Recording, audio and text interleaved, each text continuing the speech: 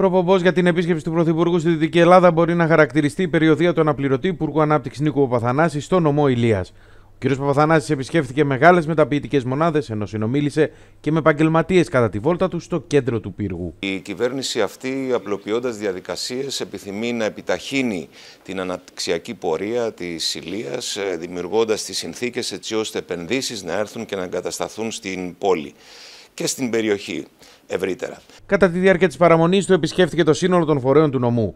Πρώτο σταθμό αποτέλεσε το κτίριο της Περιφερειακής Ενότητας Ηλίας, όπου ενημερώθηκε από τον Αντιπεριφερειάρχη Βασίλη Γιανόπουλο σχετικά με τα μεγάλα και διαχρονικά προβλήματα της περιοχής. Αν μου και μια σαφή εικόνα για τα προβλήματα, τις ελλείψεις που αντιμετωπίζουμε και φυσικά τις παθογένειες που υπάρχουν στην περιοχή μας και κυρίως στο κομμάτι του σκέλου των επιχειρήσεων. Το γενικότερο πρόβλημα της ε, ηλιακής οικονομίας έχει τις ρίζες του τις καταστροφικές πυρκαγιές του 2007.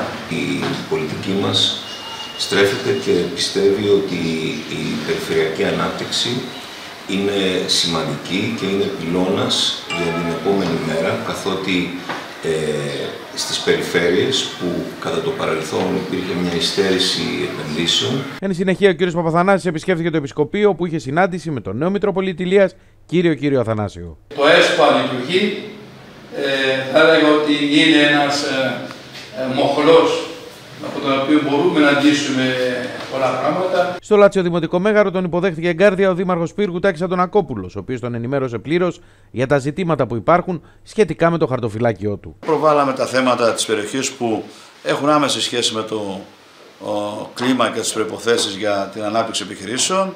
Είπαμε ότι η χρήση γη είναι ένα τεράστιο πρόβλημα, όπως είναι η ζωή προς το κατάκολο, η ζωή στην εθνική οδό, ή το προεδρικό διάταγμα από το κατάκολο μέχρι την παρεσία. Ο κύριος Δήμαρχος ε, αναφέρθηκε σε προβλήματα της πόλης, καθότι είναι αυτός που καθημερινά συναντά τους πολίτες και αντιμετωπίζει τα προβλήματα των πολιτών. Ο κύριος Παπαθανάσης συμμετείχε και σε ειδική σύσκεψη στο επιμελητήριο Ηλίας, παρουσία του συνόλου των αναπτυξιακών φορέων του νομού.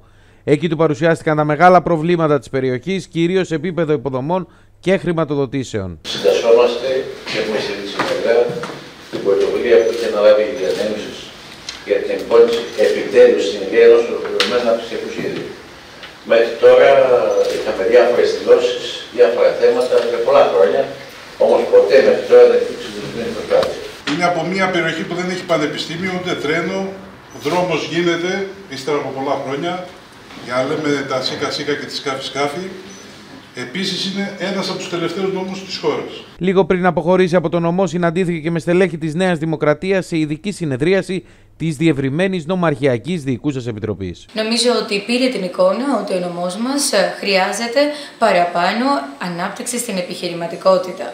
Το αίτημα το οποίο του κατέθεσα και εγώ είναι να φέρει παραπάνω επενδύσεις στο νομό μας. Στο επόμενο διάστημα ε, παρουσιάζονται μεγάλες ευκαιρίες ευκαιρίες που προέρχονται από το νέο ΕΣΠΑ, το Ταμείο Ανάκαμψης, τη νέα ΚΑΠ και άλλα χρηματοδοτικά εργαλεία και νομίζω ότι η Ηλία, επειδή έχει τεράστια συγκριτικά πλεονεκτήματα και τεράστιες δυνατότητες ανάπτυξης, οφείλει ένα, να λάβει ένα μεγάλο μερίδιο. Η Ηλία ε, έχει ως βάση τον πρωτογενή τομέα για την ανάπτυξή της, αλλά και τον τουρισμό. Ε, γνωρίζετε καλύτερα από μένα ότι τα μεγάλα μεγάλες επενδύσεις χρειάζονται και μεγάλες επενδύσεις στον, στον οδικό άξονα.